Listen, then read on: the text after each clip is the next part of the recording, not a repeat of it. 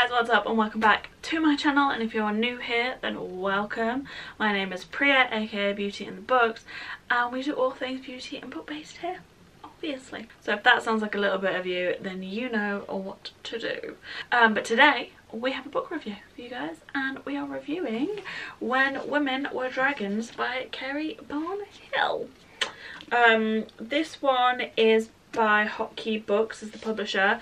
I got it last year at YALC because it was very there's a lot of hype like it was selling out. I like pre-bought this while they ran to the office and got the last few copies. Yeah there was a lot of hype and a lot of interest about this one when I was at YALC when I was at YALC last year.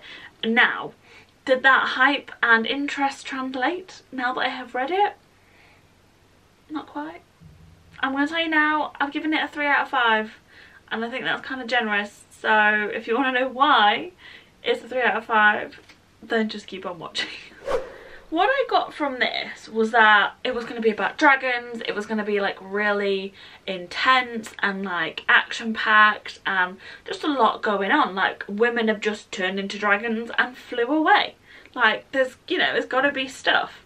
Um but no, that doesn't quite happen. That was not the case. So we'll go through it bit by bit. Um, I think I'll start off with the characters because that's just the easiest bit.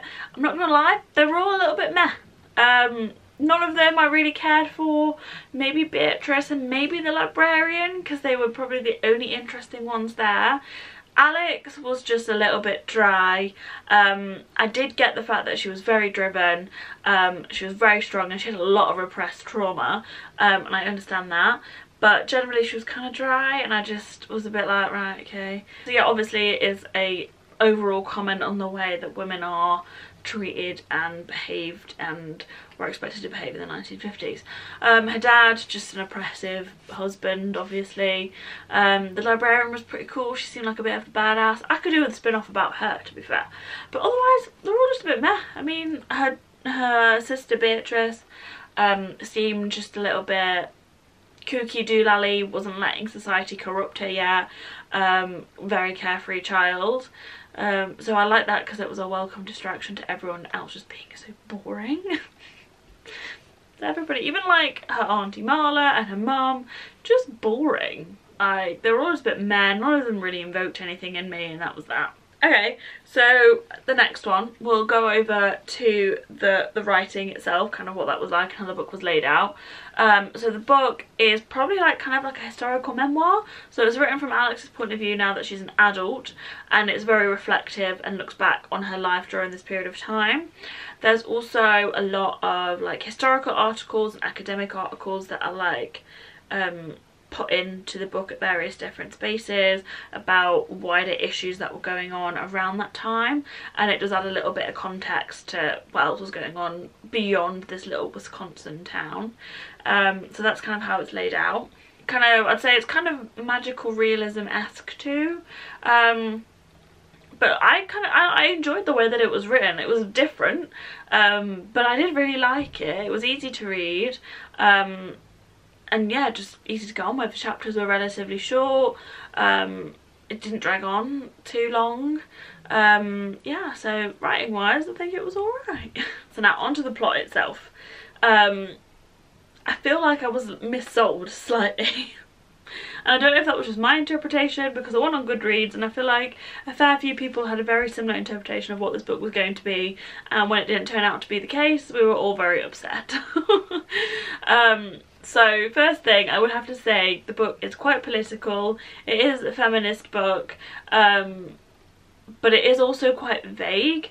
So a lot of the things and even the dragons themselves are up to a lot of interpretation especially after looking on Goodreads and reading other people's reviews. Some people see the dragons themselves as a metaphor and like did they even turn in the end or were they just transformed beings um, and this is just it from a childlike perspective and just putting them as dragons were just a way that's easier for them to comprehend this.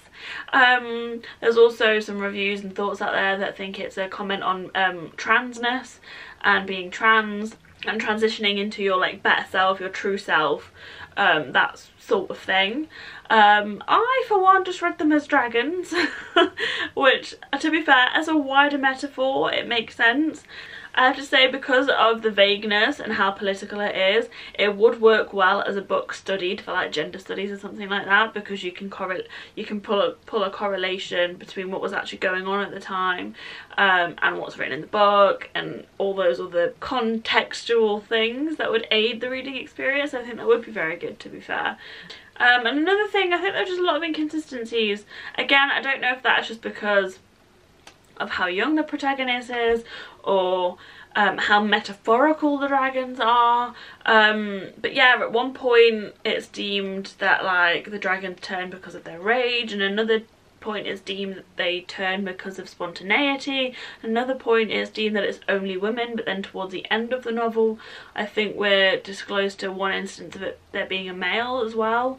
Um, uh, but then again, the whole novel is written kind of in a scientific, researchy esque way, so I, and it is kind of mentioned quite frequently that the science isn't always right and the whole point of being a scientific mind is accepting that you're going to get things wrong. So I don't know if that also goes into that nuance, that kind of narrative of they thought it was this way, no it wasn't, they thought it was that way, no it wasn't, they thought it was that way, and no it wasn't. Um, so there's, basically, there's a lot of things that are open to interpretation in this book. So I think it's very much what you take from it. For me, I just read it as a book whereby women that just turn into dragons for feminist and political reasons um, and society is just left to deal with the remnants. Um, and this poor girl just wants to study wants to be really good at something because she is really good at something um, and she gets left in the lurch and the odds are stacked against her but she has a few people looking out for her and she comes out on top. Um, so yeah I think it's a very meh book and I am quite sad about it. I'm not gonna lie so yeah there is my review. Let's caveat that if this was something I was studying I would have loved it. There was so much stuff to think about and to talk about in that. It is a little bit repetitive and then it does mention the same points quite frequently. Um, but again, that could be a whole metaphor for just the way that Alex is feeling in this repetitive society that's just oppressing her 24-7. We'll never know. Um, but yeah, that's it. I'm going to stop talking now. Uh, but yeah, that is it for this review. If you've read this book, please let me know what your interpretation is in the comments because I would be really intrigued to know.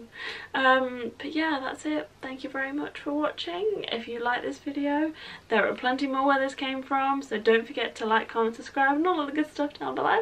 And I'll see you in the next one. Bye!